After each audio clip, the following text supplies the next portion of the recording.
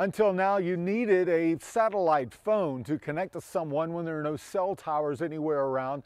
But the newer iPhones and the latest operating system has a satellite connection option that lets you contact emergency services and even friends when there are no cell towers.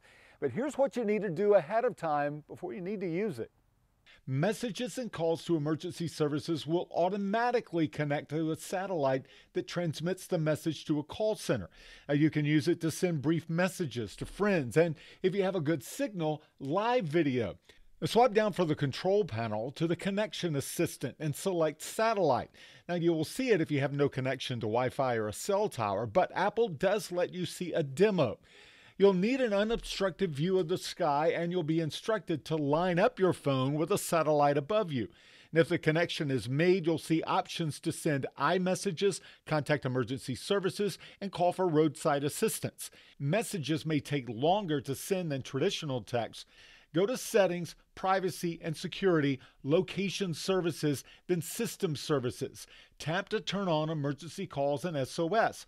A satellite works only for iPhone 14 and later using iOS 18. The Google Pixel 9 is currently the only Android device that has a satellite connection option. However, T-Mobile is working now to bring that technology to other Android phones. It is waiting on licensing approval from the FCC. That's What the Tech. I'm Jamie Tucker.